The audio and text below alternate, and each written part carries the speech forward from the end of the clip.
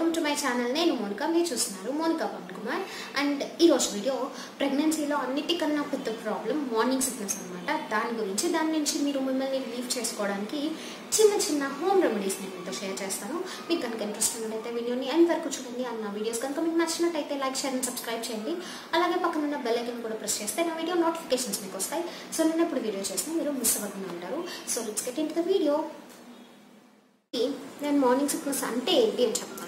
Mostly pregnant women అందరికీ తెలిసే ఉంటుంది. ఆల్రెడీ మీరు పేరెంట్స్ అయినా కూడా మీరు దీన్ని ఎక్స్పీరియన్స్ చేసి ఉంటారు. మార్నింగ్ సిక్నెస్ అంటే మార్నింగ్లోనే వస్తుంది అనుకోకండి పేరుని బట్టి. జనరలీ ఈ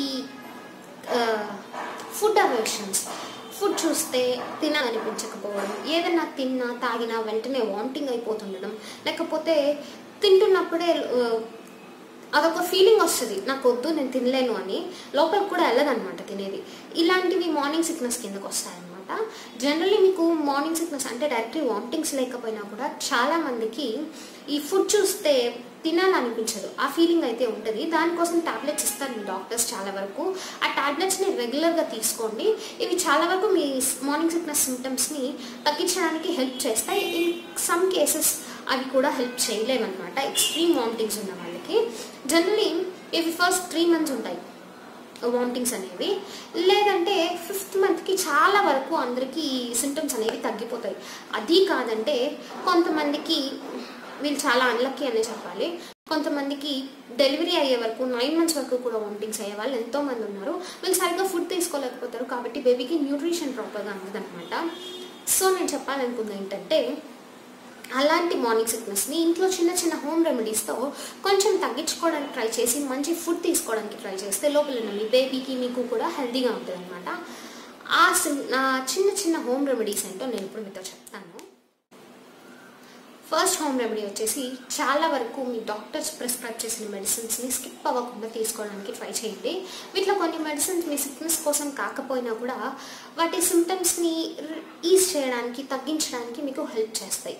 అండ్ అలాగే మార్నింగ్ లేవగానే మీకు చాలా వరకు మీ డాక్టర్ ప్రిస్క్రైబ్ చేసిన టాబ్లెట్స్లో బిఫోర్ ఫుడ్ ఒక టాబ్లెట్ తీసుకోమని చెప్తారు. ఇది మీ నాజియాని తగ్గించడానికి చాలా హెల్ప్ చేస్తుంది.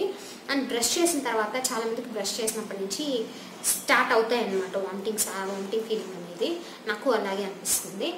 ఆ బ్రష్ చేసిన తర్వాత కొంచెం వాటర్ బాగా బాయిల్ చేసుకొని అందులో కొన్ని అల్లం ముక్కలు వేసుకోండి. అవి బాగా బాయిల్ అయిన తర్వాత ఒక వామ్ టెంపరేచర్కి వచ్చిన తర్వాత మీరు తాగగలిగేంత వేడిలో ఉన్నప్పుడు ఆ వాటర్ని ఫస్ట్ బ్రష్ చేసిన తర్వాత తీసుకోండి. అల్లం అనేది మీ వామిటింగ్ సెన్సేషన్ని ఆ ఫీలింగ్ని తగ్గిస్తుందని చాలా రీసెర్చెస్లో తేలిందనమాట. సో ఇది మీ సిమ్టమ్స్ని తగ్గించడానికి చాలా వరకు హెల్ప్ చేయొచ్చు. ట్రై చేసి చూడండి. ఇది కాకుండా మీకు ఇలా రోజంతా అనిపించినప్పుడు ఏదైనా కచ్చా మ్యాంగో లాంటిది ఏదైనా పుల్లగా అనిపించే చాక్లెట్ లాంటిది ఏదైనా మీ దగ్గర పెట్టుకోండి. అది తింటూ ఉన్నారంటే అంటే మీకు ఆ ఫీలింగ్ వచ్చినప్పుడు నోట్లో వేసుకున్నారంటే ఆ ఫీలింగ్ తగ్గే ఛాన్సెస్ ఉంటాయి. అండ్ ఇవి కాకుండా మోస్ట్ ఇంపార్టెంట్లీ మీరు ఫుడ్ ఎప్పుడు వేడి వేడిగా తీసుకోకండి అండ్ ఎక్కువ క్వాంటిటీస్లో తీసుకోకండి. మామూలుగా ఉన్నప్పుడు నార్మల్లీ మనం రోజుకు మూడు సార్లు తిన్నట్టు ప్రెగ్నెన్సీలో రోజుకు మూడు సార్లు తినకూడదు. స్మాలర్ అమౌంట్స్లో రోజుకి ఆరు సార్లు భోజనం చేయండి. ఇది మీ నాసియా అనే ఫీలింగ్ తగ్గించడానికి హెల్ప్ చేస్తుంది. మీరు ఎక్కువ తినాలని ట్రై చేసే కొద్దీ మీకు ఇబ్బంది అనిపిస్తుంది.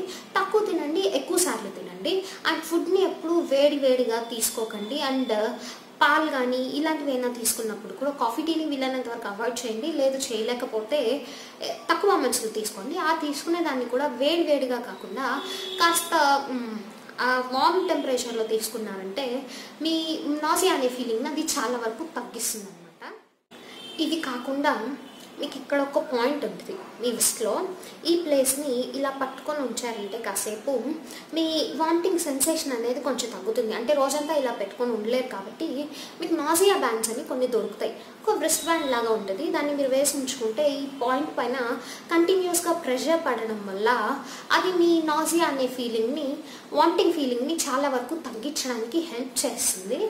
అండ్ సో మీరు కొంచెం తినగలుగుతారు. తిన్నారంటే మీరు హెల్తీగా కూడా ఉండగలుగుతారు. పఫ్డ్ రైస్ అంటే ఏంటో తెలుసా? తెలిసే ఉంటుంది. జనరలీ అంత మోడర్న్ టర్మ్స్ మనకు వద్దు. బొరుగులు అంటారు. చాలా వరకు అందరూ చూసే ఉంటారు తినే ఉంటారు. మీరు కనుక మార్నింగ్ ఫస్ట్ ఈ బొరుగులు తీసుకున్నారంటే అది కూడా మీ వామిటింగ్ సెన్సేషన్ని వామిటింగ్ ఫీలింగ్ని చాలా వరకు తగ్గిస్తుందని చాలా రీసెర్చెస్లో తెలియదంట అండ్ నేను నోటీస్ చేసినంత వరకు అది తగ్గిస్తుందో లేదో నాకు తెలియదు కానీ ఆ బొరుగులు తిన్నప్పుడు తినగలుగుతాం. నార్మల్ ఫుడ్ మీకు నచ్చినప్పుడు తినలేనప్పుడు కూడా ఈ బొరుగులు తినాలని మీరు ట్రై చేస్తే ఖచ్చితంగా తినగలుగుతారు. అది మీకు టేస్టీగా అనిపిస్తుంది. ట్రై చేసి చూడండి. అదైనా లోపలికి వెళ్తుంది. అదొక ఫార్మ్ ఆఫ్ ఎనర్జీ దానివల్ల నష్టం ఏం లేదు. అండ్ ఈ టైంలో మీకు కొన్ని స్మెల్స్ నచ్చకపోవచ్చు. చాలామందికి రైస్ ఉడికే స్మెల్ నచ్చదు పప్పు ఉడికే స్మెల్ నచ్చదు పప్పు తినాలంటే లోపలికి వెళ్ళదు ఇలాంటి ఫీలింగ్స్ అనిపిస్తూ ఉంటాయి. ఇలాంటివే కాదు ఇంకా చాలా టైప్స్ ఆఫ్ ఫుడ్స్ని చూస్తే మీకు నచ్చదు. దయచేసి అలాంటి ఫుడ్స్కి దూరంగా ఉండండి. మీకు నచ్చని దాన్ని బలవంతంగా తినాలని ట్రై చేస్తే మీకు వాంటింగ్ అయిపోతుంది. సో నచ్చని ఫుడ్కి చాలా దూరంగా ఉండండి. నచ్చిన ఫుడ్ని తినండి హ్యాపీగా ఉండండి. అండ్ ఇంకేం చెప్పాలనుకున్నాను చాలా వరకు నేను చెప్పాలనుకున్నవన్నీ అయిపోయి.